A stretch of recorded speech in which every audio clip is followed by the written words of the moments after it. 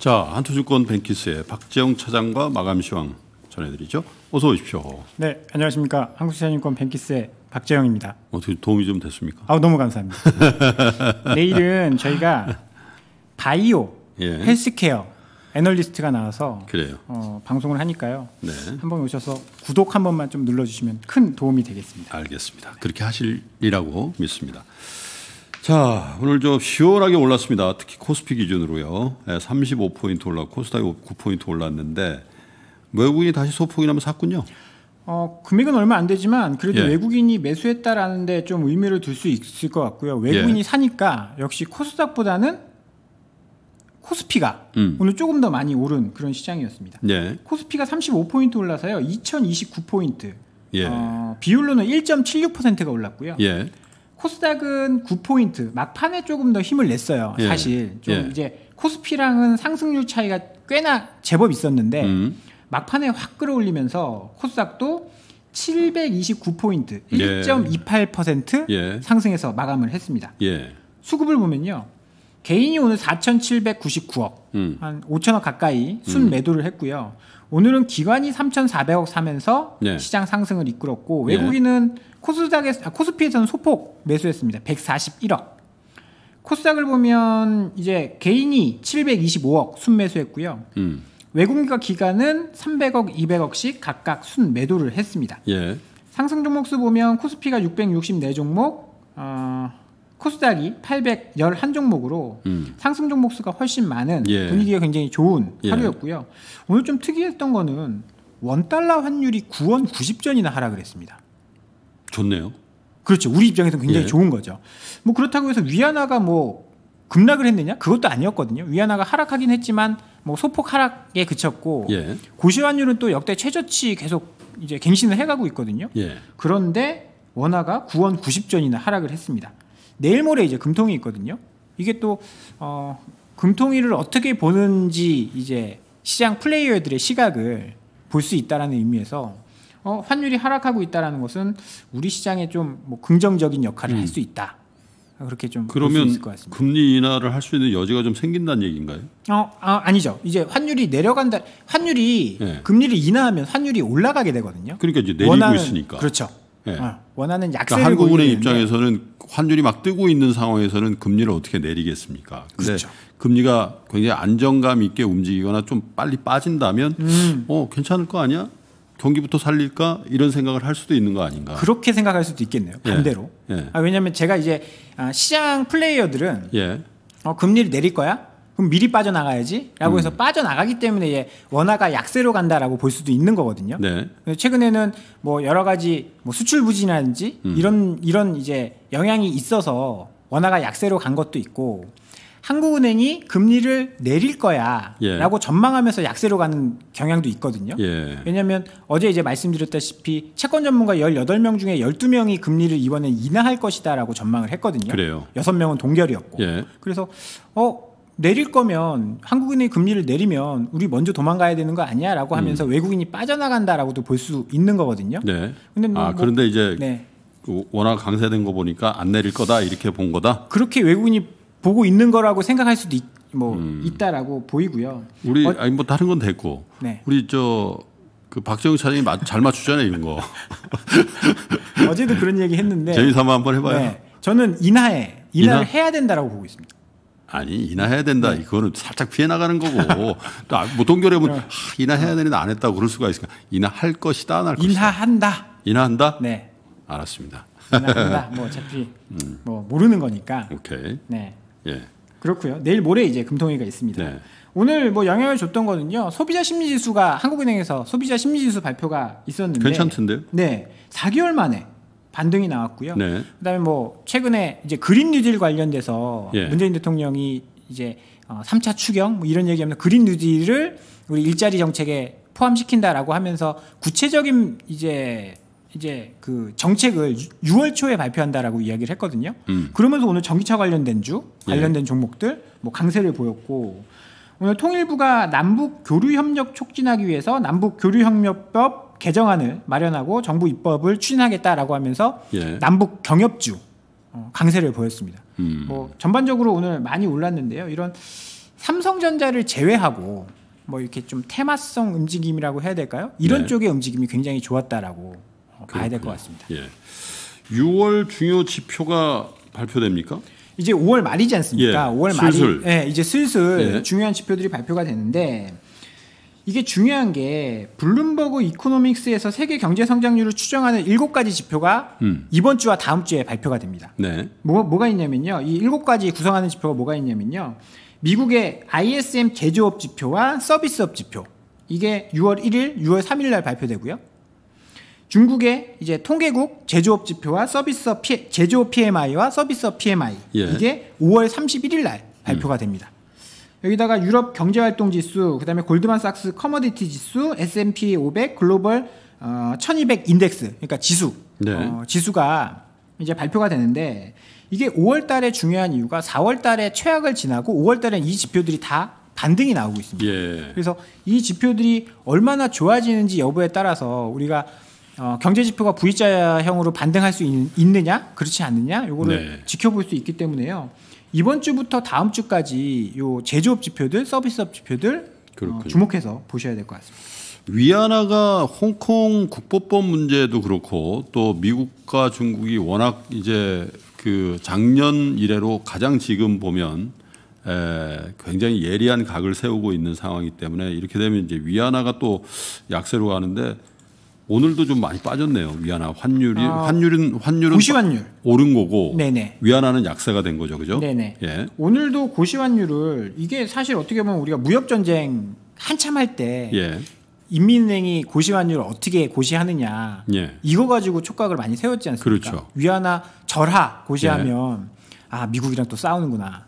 절상에서 뭐뭐 치료의 밑으로 내려가면 어 무역 전쟁이 잘 해결될 것 같- 같다 이런 기미를 보인다 이렇게 해석을 했었는데 예, 최근 위안화가 굉장히 큰 폭으로 절하되고 있습니다. 예, 인민은행이 어 2000, 그러니까 12년 만에 고시 환율로는 최저치를 예. 이제 경신을 했다라고 해요.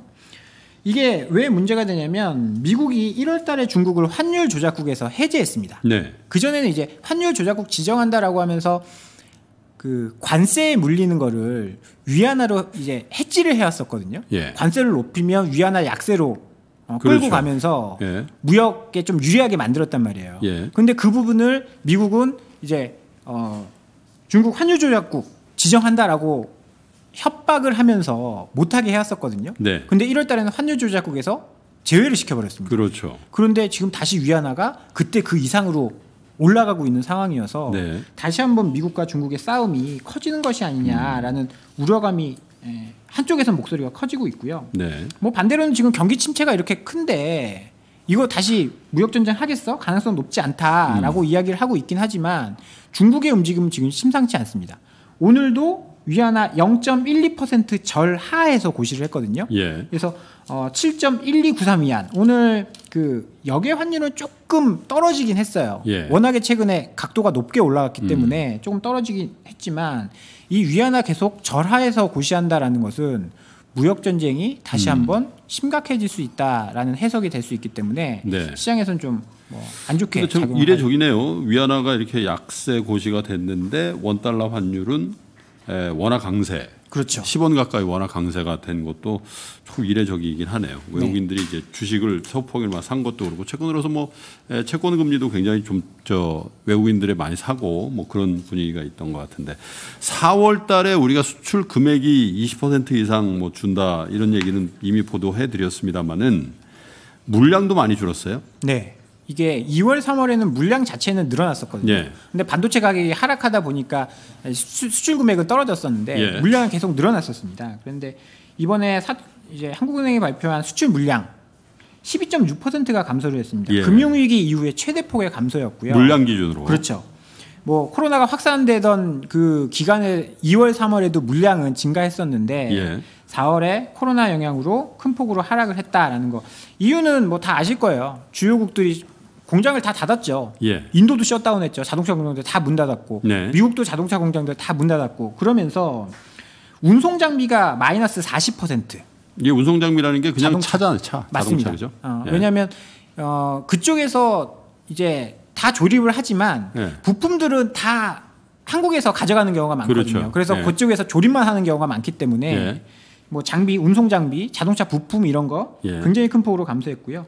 컴퓨터 전자 및 광학기기 마이너스 7.5%. 네. 여기에는 이제 휴대전화가 있을 거고 음. 뭐 LCD 음. 이런 부분들이 많이 감소했다. 네. 아, 그래서 뭐 수출 금액도 22.8% 감소했고요. 수출 금액이 감소한 거는 10년 9개월 만에 최대치다라고 합니다. 음. 그런데 수입 금액은 15.5%뿐이 감소를 안 했어요. 네. 이것도 국제 유가 하락. 그래서 석유, 석유 및 석유 제품 하락 때문인데 예. 뭐이 얘기 계속 드리고 있지만 반대로 운송 장비의 수입 물량 예. 금액은 19% 15% 증가했습니다. 그러니까 일부 브랜드에 아마 그 인증이 돼가지고 아마 이제 선적이 됐던 것들도 이제 그 수입 자동차의 물량이 이렇게 늘어나는데 기여했다라고 하는데 어쨌든 좀 그러네요. 우리 자동차는 못 실어 날고 그렇죠. 네.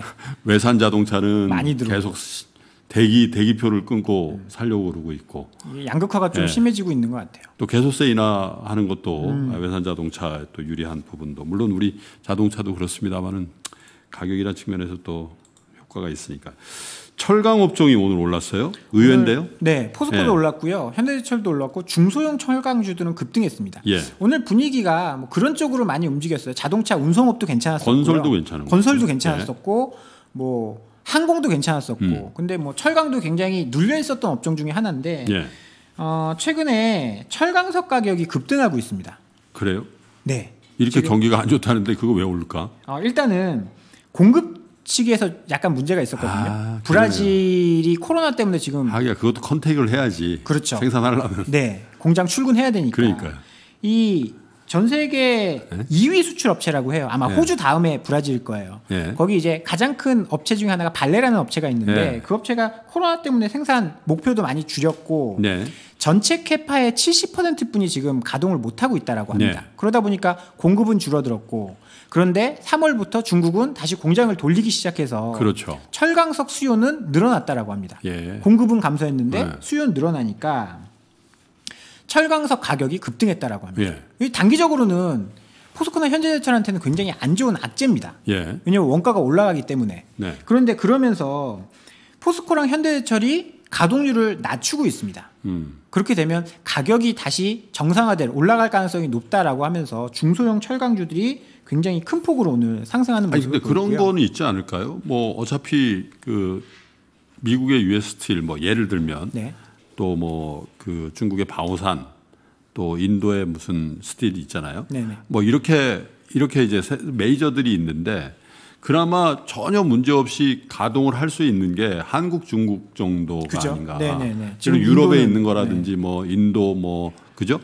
에, 무슨 미탈인데 나 기억이 안 나. 그뭐 이래- 아르셀로 미탈. 네, 그런데 네. 예, 예를 들면 그런 그런 데들은 지금 뭐 어차피 부분적으로 해제되지만 그렇다고 공장을 뭐 완벽하게 가동하지 못할 테니까 네.